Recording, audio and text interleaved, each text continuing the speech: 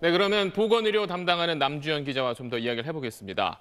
자, 영리병원 두고는 그동안 참 논란이 많았었는데 네. 먼저 이 반대하는 쪽 의견 보면 결국 병원비 올라갈 거고 건강보험 체계 무너질 거다 이렇게 주장하고 있는데 이거는 맞는 얘기인가요? 앞서 배준우 기자 리포트에서 보셨겠지만 네. 영리병원은 수익을 내고 배당하는 게 목적인 일종의 기업이나 마찬가지입니다. 네. 그래서 꼼꼼한 관리 감독이 필요한 건 맞는데요.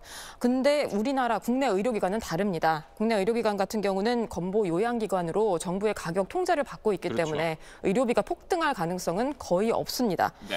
또 영리병원 같은 경우는 진료 대상 제한돼 있고요. 그리고 성형외과, 피부과, 내과, 가정의학과밖에 없기 때문에 강남의 성형외과에서 외국인 환자 진료 보는 것과 사실은 크게 다르지 않은 상황입니다. 네. 따라서 당장 건보 체계를 무너뜨린다거나 아니면 뭐 돈 없는 사람은 진료받지 못하는 이런 상황은 좀 과도한 우려라고 볼 수 있겠고요. 또 복지부도 국내 의료기관으로의 파장은 좀 미미할 것이다 이렇게 내다보고 있습니다.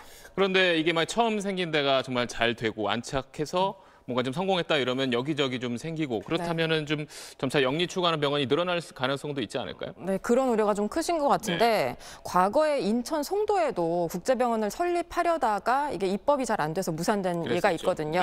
네. 그 외에 현재 진행 중인 건 없는 걸로 알려져 있습니다. 그렇지만 말씀하신 것처럼 이번에 1호가 탄생했으니 네. 이제 물꼬가 터져서 영리병원 확산하는 계기가 되지 않겠느냐 그런 건데요. 또 이제 서비스 산업 활성화, 일자리 창출, 의료 산업 선진화 같은 그런 효과 있다는 찬성 층 목소리도 높고요. 또 미국처럼 돈 없으면 진료 못 받는 거 아니냐 이런 반대 목소리가 높기 때문에 대립이 좀 첨예해지지 않을까 우려가 나오고 있습니다.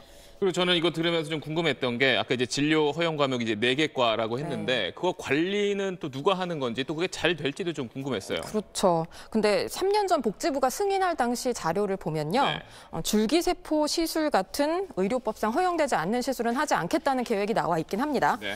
그리고 녹지 국제병원에서 일하는 의료진은 어, 의사, 간호사 모두 우리나라 면허를 받은 아, 의료진이거든요. 네. 따라서 이들에 대한 감독 관- 관리 감독 기능은 우리 정부에게 있습니다.